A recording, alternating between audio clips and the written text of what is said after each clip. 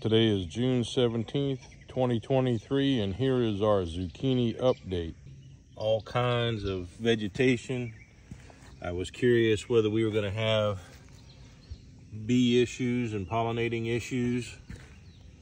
Apparently we have not had that problem. Bees have just come from wherever. They've come from everywhere. And so we're going to do our very first harvest on the farm. This might be the first harvest in our garden, which is very exciting.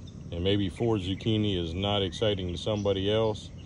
But when you've come this far, and made this much effort, wow, is it nice to see. I mean, this one right here, look how beautiful that thing is. That thing's probably about two and a half inches in diameter at the end there. They're just awesome. And they came from those plants right there. The ones that look so yellow and peaked about two weeks ago. Take care and God bless you. Have a great day.